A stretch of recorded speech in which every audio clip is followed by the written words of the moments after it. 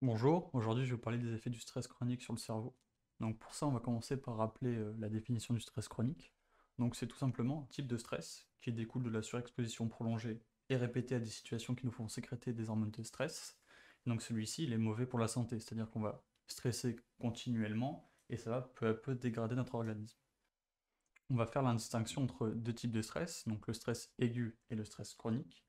Le stress aigu, pour rappel, c'est tout simplement la sécrétion d'hormones qui nous aide à mieux gérer la situation sur un court terme.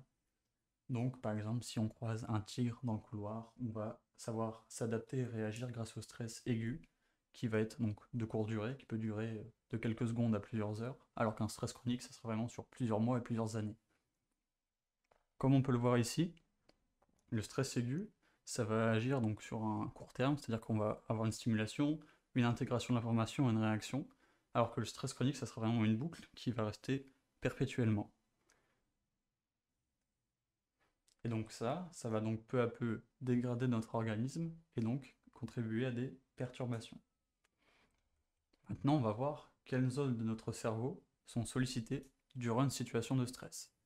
Donc ce sont majoritairement les zones impliquées dans la coordination, de la cognition et des émotions. Donc pour rappel, la cognition, c'est tout simplement le processus de réflexion intelligente donc quand on pense, etc.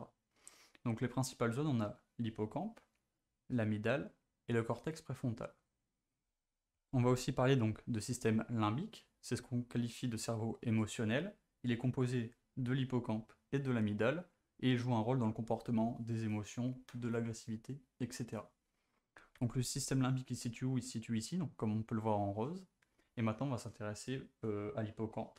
Donc l'hippocampe, ça se situe ici, c'est tout ce qui va gérer euh, le contrôle de l'humeur, la mémorisation, la concentration ou encore l'acquisition de connaissances. On a ensuite l'amygdale, donc qui, elle, gère les émotions, réagit à la peur, nous provoque de l'anxiété et euh, nous provoque de l'agressivité. Donc c'est tout ça que va gérer l'amygdale. Donc le cortisol, c'est quoi? C'est tout simplement une hormone de stress. C'est sécrété dans les glandes surrénales.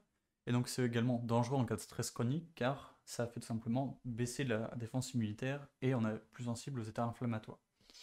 Donc le cortisol, pour rappel, ça freine la sécrétion de CRH et d'ACTH, sauf qu'avec le temps, l'organisme devient de plus en plus résistant au cortisol, ce qui fait qu'on a de plus en plus de CRH et d'ACTH dans notre corps. On va ensuite parler de neurogénèse de l'hippocampe. Alors tout d'abord, qu'est-ce que la neurogénèse C'est un processus qui consiste à la formation d'une neurone fonctionnelle du système nerveux à partir d'une cellule souche neurale. Donc en fait, on va tout simplement recréer des neurones pour les attribuer à certaines fonctions. Et donc malheureusement, à cause d'un trop fort taux de cortisol, on a un déficit de la neurogénèse.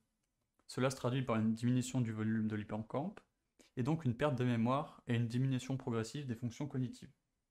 On va ensuite parler donc d'une autre hormone, le CRH. Donc corticolibérine, ça peut être un neurotransmetteur ou une neurohormone, donc ça, c'est produit par l'hypothalamus et ça agit au niveau de l'hypophyse. Et donc elle, va tout simplement servir à stimuler la libération d'ACTH qui va stimuler la production de cortisol. Et donc avec le temps, en fait, le cortisol, l'organisme va devenir résistant à celui-ci, ce qui fait que ça freinera plus la sécrétion de CRH et d'ACTH et donc on en aura trop dans notre corps, dans notre cerveau. Et donc on va voir pourquoi le CRH est mauvais. Donc maintenant on va faire une expérience, on va avoir besoin de deux rats, et d'une boîte. Donc la boîte, en fait, elle est séparée en deux. Une partie éclairée, une partie sombre. Dans la partie éclairée, rien ne se passe. Et dans la partie sombre, le rat reçoit un choc électrique. Donc on va laisser faire le rat dans la boîte, et on va remarquer que quand elle prend son premier choc, il ne retournera plus la deuxième fois, car elle aura mémorisé l'information. Alors que pour le deuxième rat, une fois qu'il se sera fait électrocuter, on va lui injecter du CRH et on va laisser agir pendant 48 heures.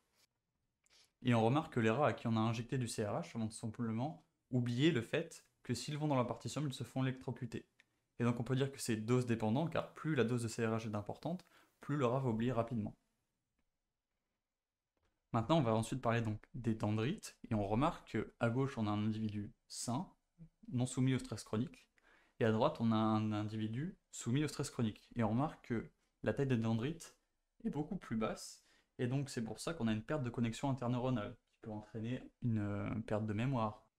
Donc on peut voir sur le schéma qu'un individu témoin en rouge, donc non soumis au stress chronique, va avoir des dendrites plus longues avec plus de ramifications, alors qu'à l'inverse, un individu stressé, donc en rose pâle, aura des dendrites plus courtes avec moins de ramifications.